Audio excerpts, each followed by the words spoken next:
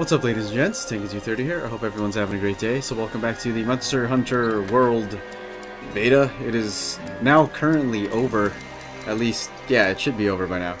Um, so we're going to be facing off against the Barroth once again after we timed out in the last episode, Dan and I.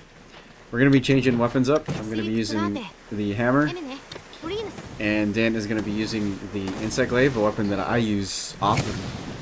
So we're kind of both, I guess, at kind of a disadvantage. But I've kind of dabbled in hammer use now and again, usually versus monsters I've already fought and, and know well. So I figured, you know, I fought the Barroth before and here once and in uh, in Monster Hunter Tri and Monster Hunter Tri Ultimate, so So we'll see how, how the hammer goes. As Dan, as you can see, also tries to test out the Insect Glaive by doing the vault. I feel like I have to test it out on something. Don't worry, the the Kelbi's good to go. They're they're actually pretty pretty resilient getting up from a hammer attack like that. Dan goes on ahead here.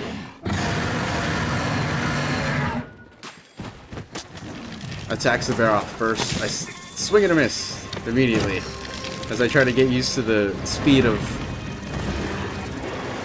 holding this weapon as well as its range.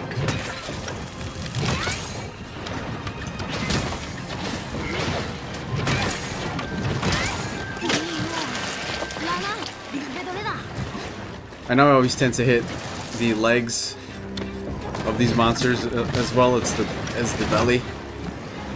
That's kind of like where I normally hit, but with a hammer, it's optimal to get headshots with it because it will stagger and stun the monster. Unfortunately, in this third match that I played in Monster Hunter World, I'm not keenly adept at it. So instead I just try to focus on as much damage as I can wherever I can get it. Starting this match, it's it's not going well. I've, I've been getting hit a bunch. And already I had to use a potion, which which isn't great, but we still have a bunch more, so there's just more time to uh, to regroup and strategize. So here Dan mounted the Barroth, and there was a Palico up above which said, hey, if you ride the monster near me, I'll set up a trap for it. And that's what it did. Set up like a vine trap. And you can see actually all the palicos right there holding it down with vines. It's pretty cool.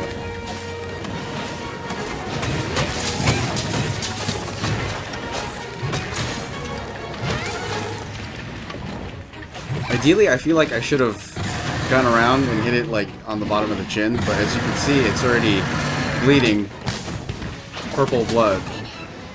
I don't think I've ever seen, like I remember in the original, or sorry, no, sorry, not the original, but in facing the Barroth and Tri, that uh, it drools, but I've never seen like purple blood before.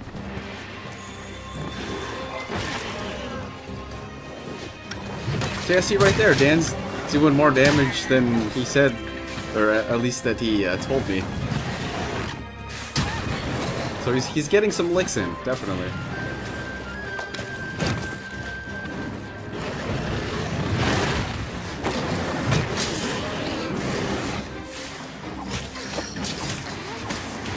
Interestingly, I guess doing an attack as you're like going down on a slope, it does a jump attack.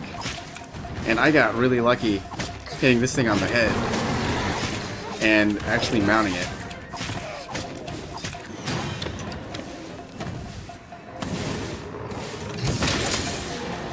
And that's awesome. I mean, I thought the, flur the flurry attacks are cool too, especially when you do enough damage on like a certain part of the body, but actually hitting it with a hammer right in the dome, that felt really satisfying. You got some good licks in there. I'm happy about those that, that combo. This is also, I believe it's a paralyzing hammer. So because I hit it so much, it actually paralyzes it.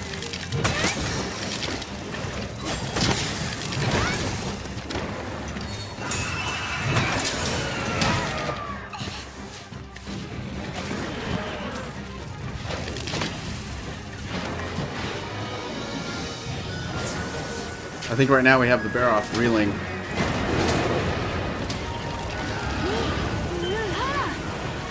So that is another monster. That is the Diablos, I believe.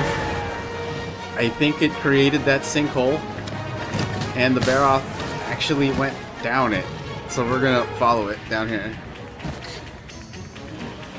That was the first time I seen like an environmental kind of uh, destruction, and that was pretty cool. I remember talking to Dan, and he said, "Hey, I don't think the Diablos is gonna come down here." And sadly, I was wrong, but it actually turned out pretty well. You see that text over there says Turf War? They're gonna fight.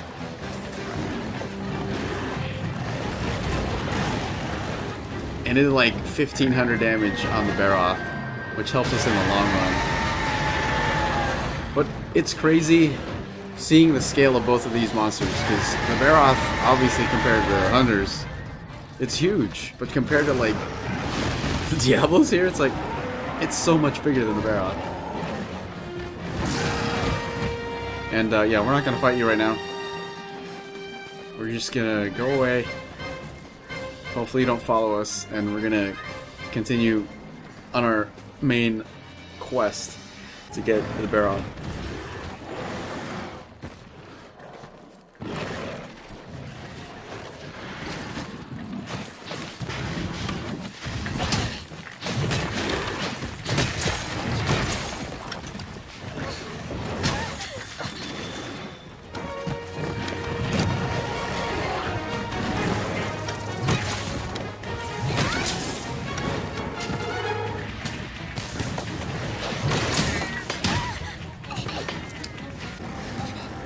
I think it hit me with its butthole, on, on like a butthole attack.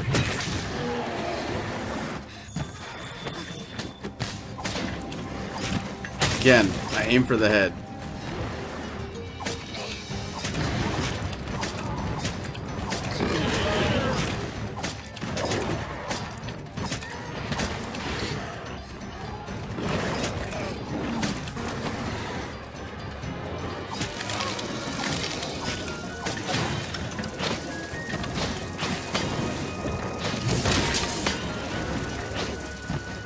Makes me wonder if there's actually if I can hold it for as long as I want, and if I do, does it do more damage? I don't know. I, don't, I actually didn't try it out.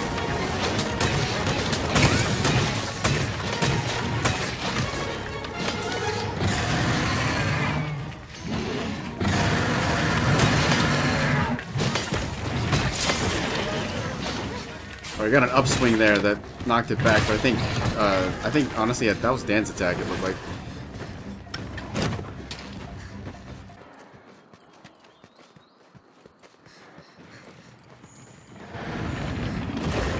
Back to the area with the sinkhole. I don't know what was there, but I think it was trying to eat something. So I was just kind of messing around, and I'm like, hey, there's a there's a net here. What does this do? I don't know how it works.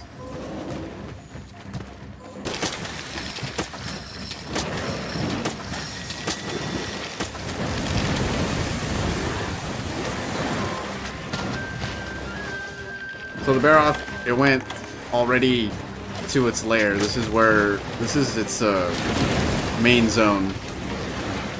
So you know it's weak. The tail's off right now. And this is where it's gonna make its last stand. And holy crap, it's really annoying fighting here in the mud. It slows you down.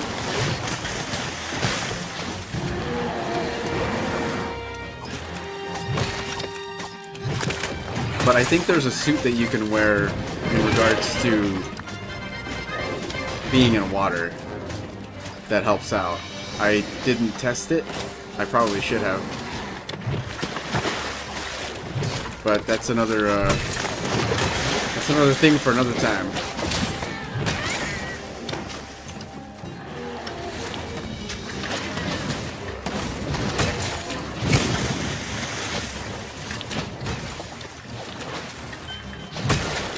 We got the other monster coming here. I actually have no idea what that's called. I should probably look it up.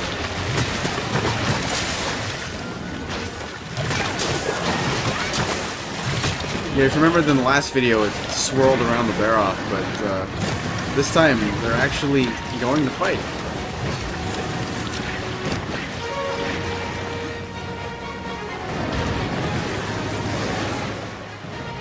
Barroth charges, runs it over. I overjump that, trying to mount, but no matter.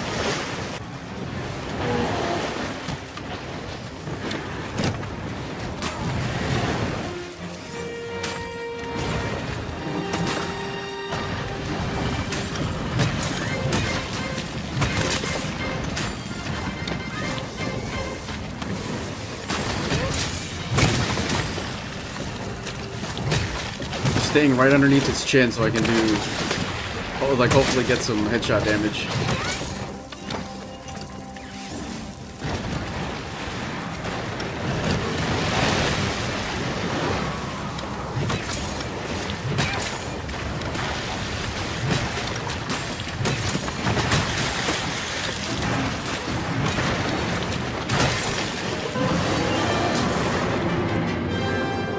And finally, Sweet, sweet revenge.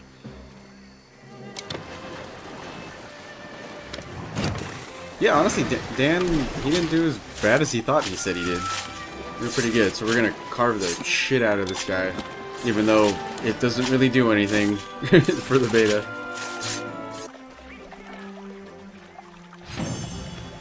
Alright, so finally quest complete. In the next episode we'll fight the last monster which you will see. I'll probably do like a little montage of it first with all the times we tried, and then do it, uh, or and end it with how we defeated it. So I got nine breaks. Uh, Dan tracked it. He also rodeoed it. So yeah, that's gonna be it for this episode. If y'all made it this far, thanks for watching, and as always, take care and Tengu230 out. All right, y'all. Game on, everybody. Take keep smiling.